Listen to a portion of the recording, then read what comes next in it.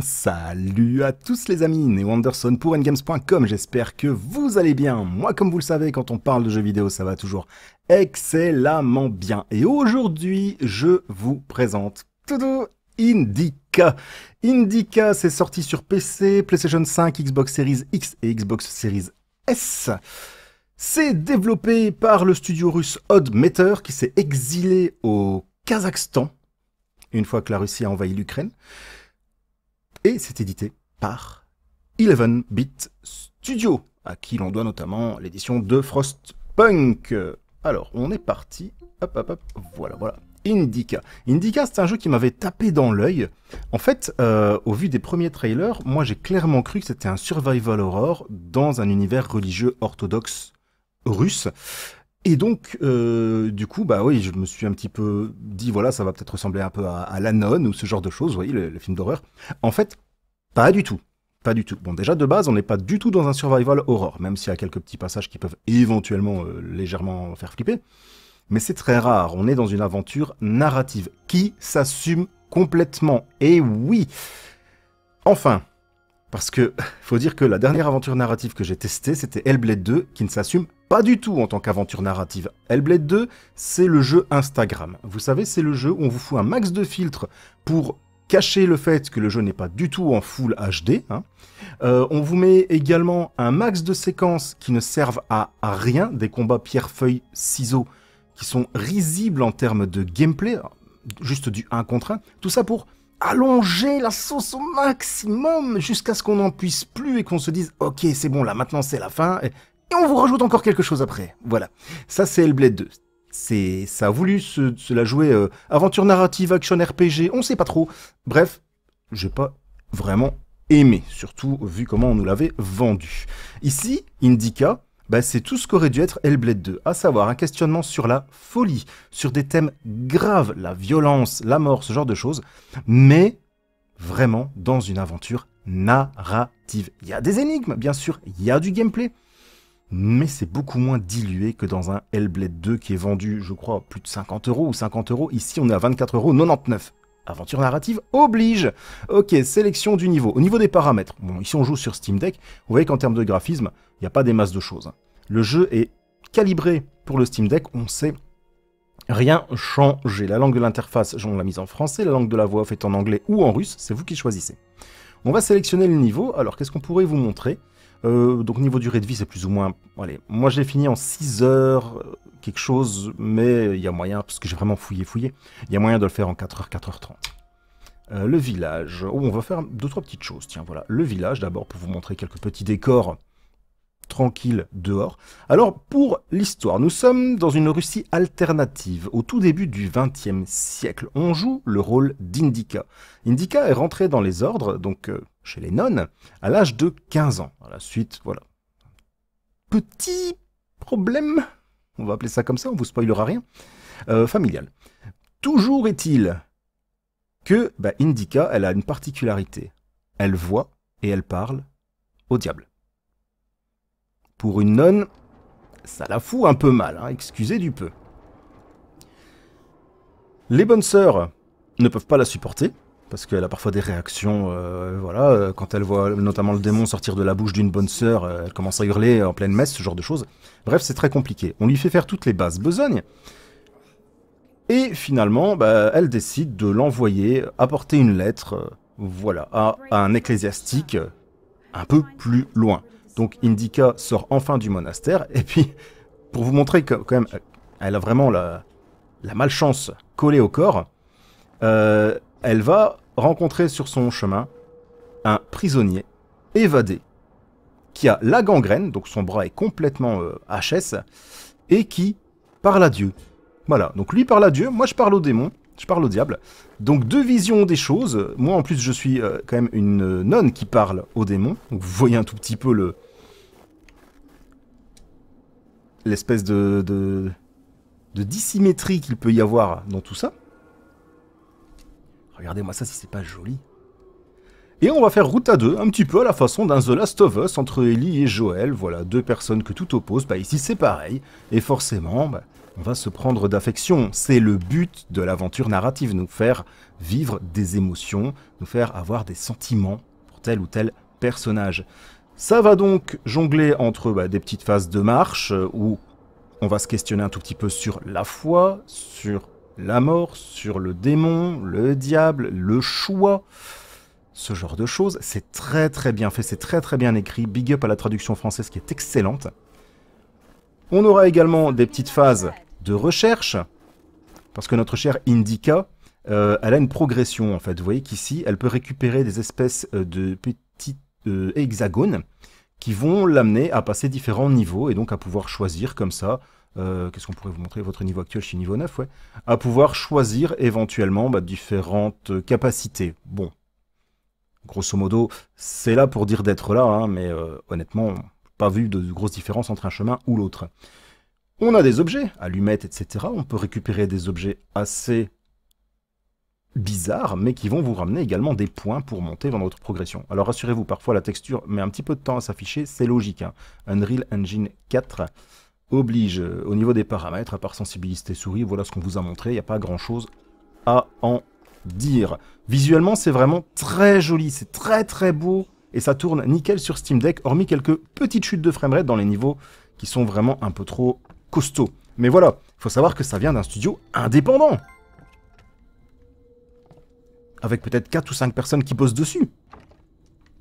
Alors euh, le jeu, je pense qu'il y a eu 4 ans de développement derrière, mais ça a été 4 euh, ans de développement interrompu par la guerre, euh, par ce genre de choses. Là, je peux éventuellement, voyez, allumer des petites bougies qui vont me rapporter oh, des points.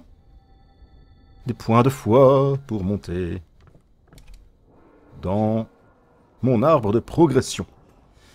À côté des mouvements classiques, vous avez vu que je peux éventuellement interagir avec le décor, ou éventuellement, voilà, faire ceci, je sais pas si elle le fait, oh, voilà, hop, me frotter le nez. Voilà. Je ne sais pas du tout à quoi ça sert. Voilà, tousser un petit peu. Ça fait des petites actions comme ça. Je, je, ne comprends pas. Mais bon, why not? Indica se baisse automatiquement, elle saute automatiquement quand elle le peut, donc ici on va gentiment descendre. Elle peut courir, bien entendu.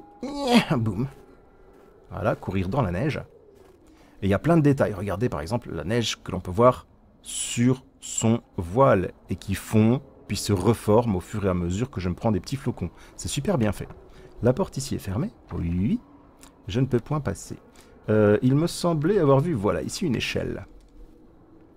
Donc comme j'ai dit, les énigmes sont vraiment bien conçues. Ici, c'est relativement simple, mais sur la fin du jeu, il faudra quand même vraiment réfléchir. Vous irez jusqu'à déplacer des ponts entiers pour pouvoir passer.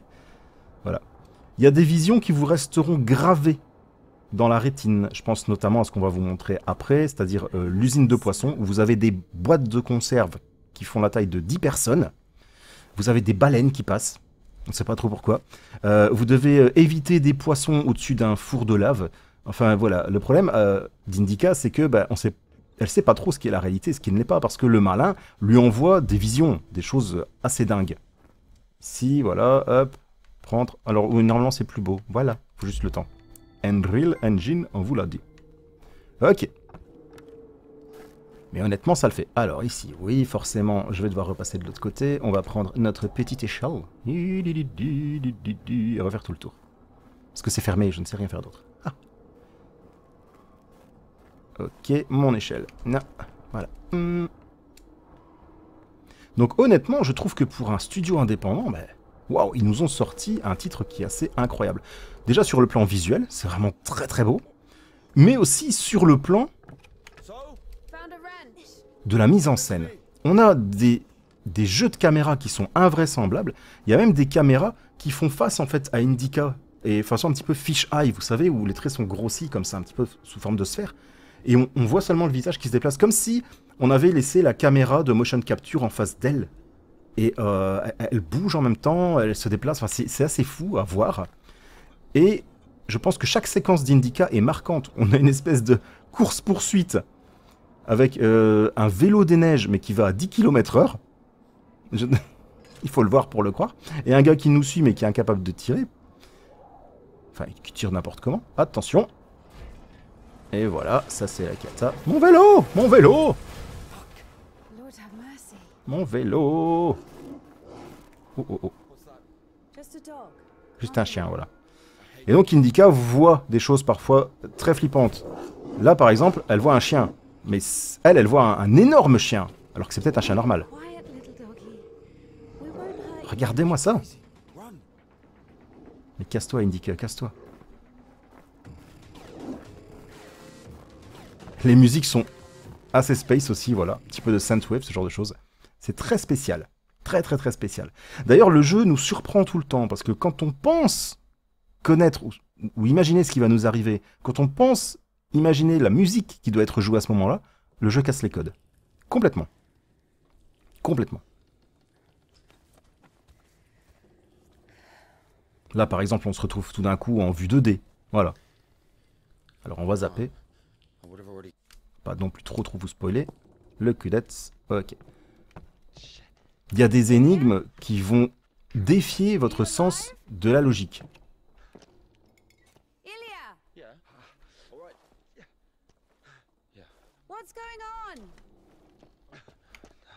Par ici. Vous allez comme ça passer d'une pièce à l'autre, et puis la sortie suivante vous ramène dans la première pièce. Mais sous un autre angle. Ah là, c'est le diable qui me parle. Elle avait entendu parler du Kudets et de ses miracles. Mais maintenant, à Spasov et Ilia, on ne croise pas des prisonniers qui parlent avec Dieu à tous les coins de rue. Et Indica commençait à l'apprécier. Ça parle de sexe aussi, bien sûr. Quoi, celui-là? Quoi qu'il en soit, une chose était sûre. Elle devait se rendre à Spasov et pas au monastère de Danilov.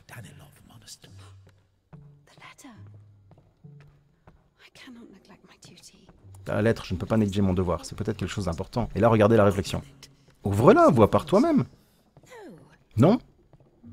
Lire une lettre destinée à quelqu'un d'autre est un péché encore plus grave que de ne pas la livrer. Plus grave? À quel point? Et là, ça commence à réfléchir. Deux fois plus grave, je sais pas trop. Intéressant. Donc ne pas livrer de lettres est aussi grave que dans les runes. Et le vol Prendre un rouble dans la poche de quelqu'un, par exemple, c'est pire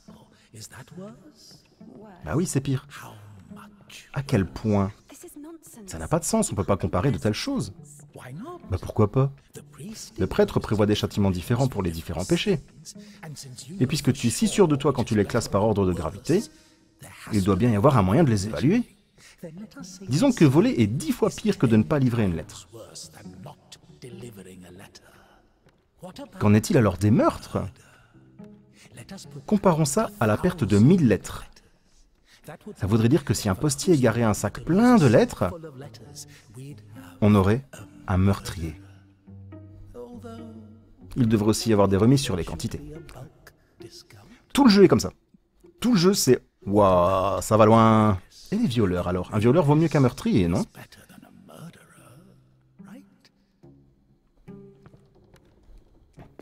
Le péché ne te fait pas peur.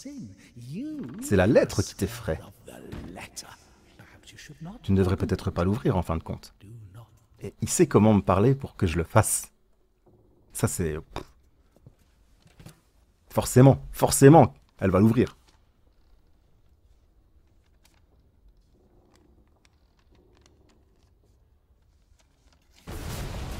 Et boum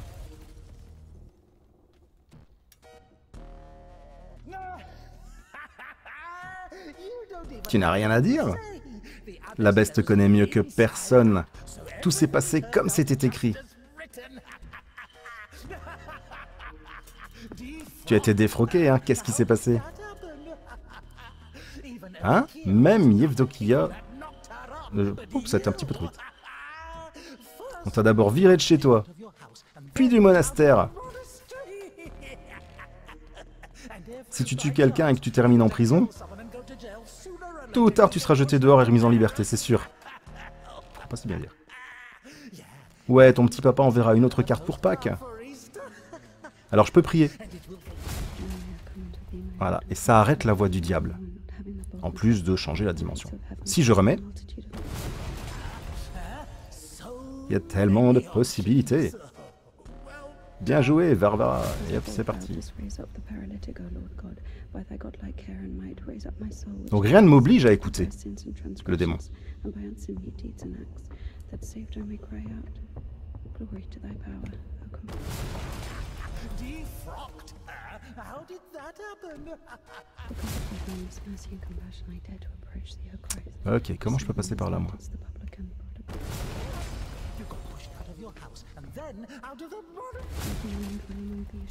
À mon avis- oh, purée, c'est par là. Bon là c'est assez sombre, hein, malheureusement. On voit pas des masses. Bah oui, c'est moi qui suis bête. Voilà. Comment voulez-vous qu'on y voit quelque chose? On va passer par là. Hop, let's go. C'est quand même dingue comme jeu. hein. C'est quand même dingue. Ok.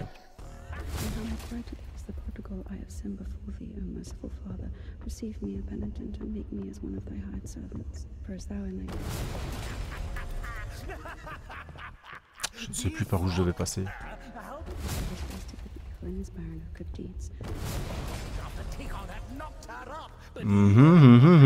with Faut que j'aille un peu plus haut. Par là. Voilà. Par ici. Hop. Par là.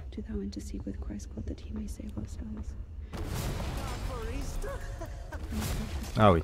Voilà, par ici. C'est parti.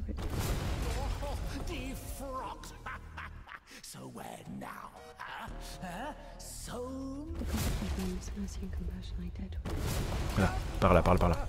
Voilà. Ouh. Que les énigmes sont vraiment bien fichues, je trouve. Vraiment sympathiques.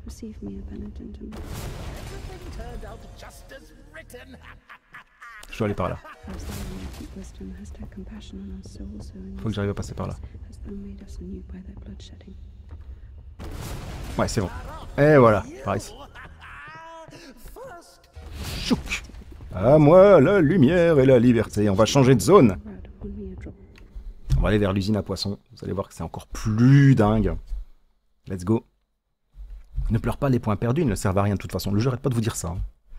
Et donc comme ça, on passe de séquences qui se font en 3D avec des séquences en pixel art, notamment avec des petites courses de petites motos, par exemple, ou de la plateforme, ou éventuellement un petit peu d'énigmes, ce genre de choses. C'est rafraîchissant, on ne s'ennuie jamais. Voilà, on n'a pas le sentiment, comme dans Hellblade, de marcher, marcher, marcher, marcher, marcher, et d'avoir du blabla qui sert à rien en fait, parce qu'au final c'est pour toujours dire la même chose. Ici, chaque parole a son importance, chaque parole marque. Les esprits. Ok, on va changer, parce que là on est parti vers quelques petites énigmes. Retourner au menu, oui bien sûr. Sélection du niveau, on va se faire l'usine de poissons. Let's go. Spasov.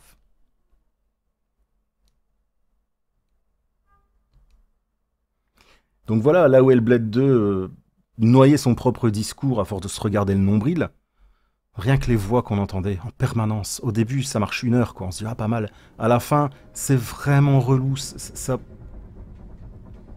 Oui, ça noie tout le discours, en fait. Tout le discours sur la folie est noyé là-dedans. Alors, oui, être schizophrène ou ce genre de choses, c'est entendre des petites voix, etc. D'accord.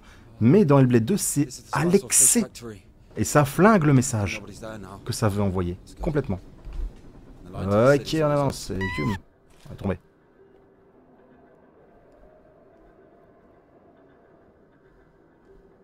Je pense que pour le bien de Hellblade 2, les développeurs auraient dû n'en faire qu'une vraie aventure narrative. Là, le problème, c'est qu'ils ont voulu mettre du gameplay qui fonctionne pas. On a des énigmes qui sont en aucun cas, qui vous font en aucun cas réfléchir.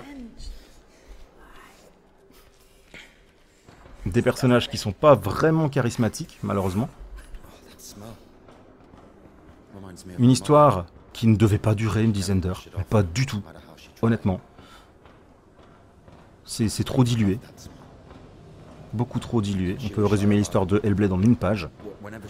Et au pire, au final, quand on a bouclé Hellblade, quand on a vraiment fini, on n'a pas envie d'y revenir. Voilà. Parce qu'on sait qu'on va perdre un max de temps à marcher et à entendre des réflexions, des réflexions, des réflexions qui sont pas plus intéressantes que ça et qui ne marquent pas les esprits. Voilà, Hellblade, premier du nom, m'avait marqué. Mais Hellblade 2, bah, c'est Hellblade 1 avec le même discours, euh, juste plus joli, mais bourré de filtres aussi. Donc l'effet de surprise étant passé, ouais, non, le- la recette Hellblade n'est plus du tout convaincante. Ok, on est bon, on est bon, on est bon, on passe. Hum. Ah, c'est bon. Écoutez ces petites musiques, bien badass. Voilà, ça c'est le genre de truc qu'on peut se taper dans Indica. Oh putain. Si je tombe, c'est la mort, hein. euh, Cherchez pas. C'est bye bye. Je suis rentré ma plateforme. Ouh, ouh, ouh. C'est bon, c'est bon, c'est bon, c'est... Ah bon. Non, pas de chance. Ma pauvre petite Indica.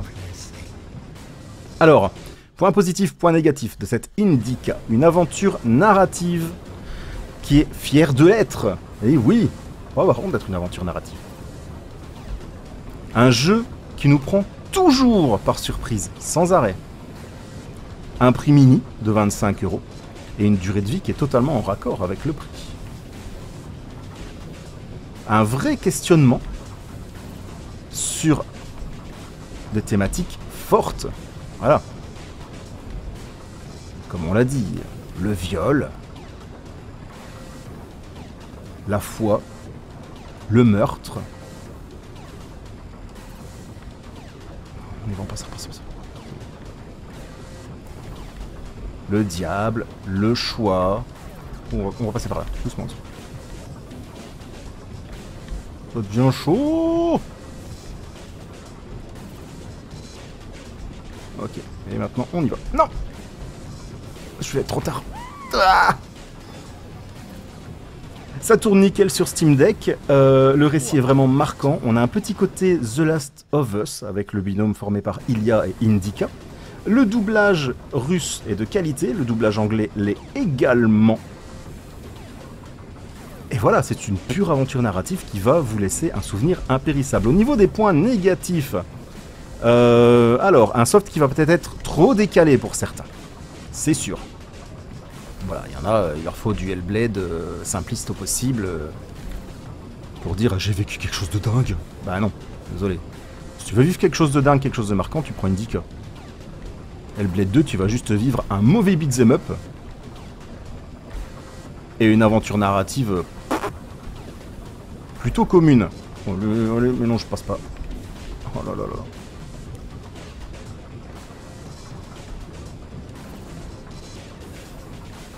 Ou justement, là, là, dans cette aventure narrative, vous n'avez absolument pas le choix d'ailleurs euh, dans Hellblade 2. Parfois on voudrait faire quelque chose, mais non, on ne peut pas. C'est impossible. En plus, l'exploration ici est toujours gratifiante. Dans Hellblade 2, l'exploration c'est juste risible. Il y a plein de zones que vous explorez, il n'y a rien dedans. Ici, voilà, on récupère des petits points. Pour augmenter sa foi, on trouve de chouettes collectibles. Dans Hellblade 2, il en manque cruellement des collectibles. C'est vraiment un gros, gros, gros problème. Alors, quelques chutes de framerate en point négatif. Euh, Qu'est-ce qu'on pourrait également dire? Bah, Les premiers trailers du soft, euh, le début de promo, euh, qui faisait trop penser à un survival horror et qui a donc pu induire certaines personnes en erreur. Voilà. Moi, je vous le dis carrément, j'ai été surpris quand j'ai découvert Indica, parce que je m'attendais vraiment à un survival horror au pays des nonnes.